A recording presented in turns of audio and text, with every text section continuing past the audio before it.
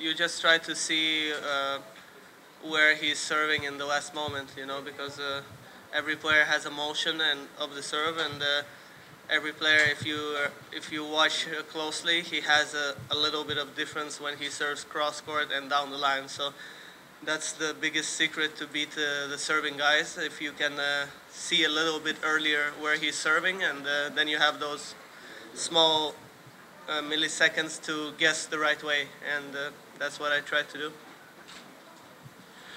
Uh, hi, Alex. Um, two weeks on clay, the trespassing to to hard courts to prepare both uh, master, uh, masters of uh, Indian Wells and Miami. Uh, how, your, how are your feelings about the surface and the, the transition, of course?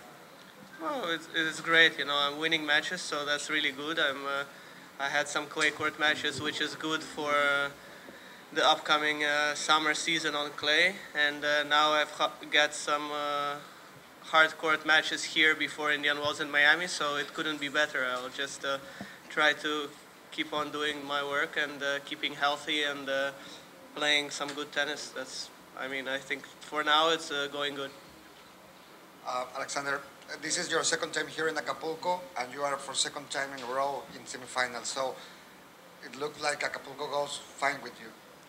Yeah, for sure. Uh, I mean, as you said, uh, I'm second time and uh, semis for the second time, so uh, for sure it's a good place for me. Obviously, I'm happy to be here, and uh, even though it's hard court this year, uh, I'm still playing good, which is which is nice, and it's great. I'll be hoping to make a better result this year. Do you have any preference for your next rival in the next round?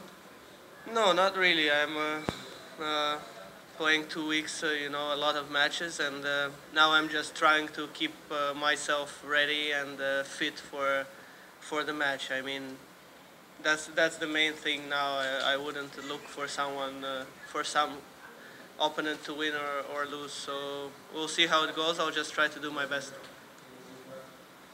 Uh, I'd like to ask you about the preseason.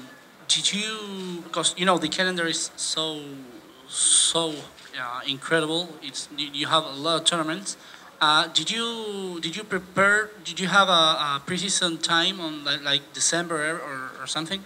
Yeah, this year I, I had one month, one full month of preseason, and uh, actually the week before the preseason I already started doing some work physically. So I had a long and uh, quite good preseason, you know, because uh, once you were top 20 and uh, you go out with the ranking, you're not too happy. So, I mean, it, it makes uh, you get uh, extra motivation to work. So, for sure, I worked better than the year before.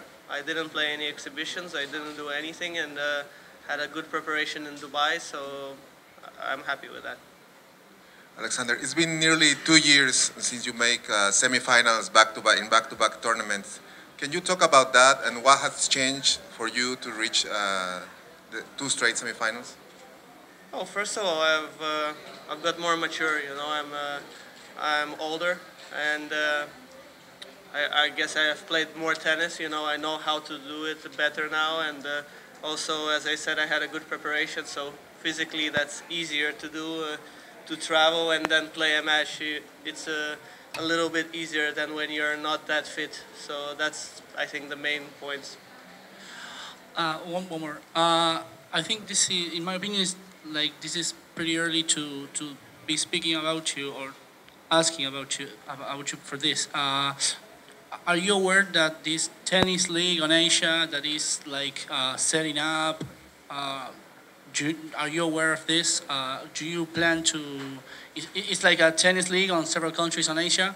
Uh, are you are you preparing for this league? Do you want to play the? Uh, I don't know yet. I'm aware of it happening. I've talked to my manager, but I didn't have the time to speak to my team yet. And uh, are we going to plan that, or are we going to make a long preparation as this year? It, it depends. Uh, I mean, I think it's a good thing. So you can pick if you want to play or not. So obviously, it's good for the players who who have a choice uh, to play some matches to make some extra money. It's uh, it's great, but uh, I'm not sure what I'll be willing to do yet.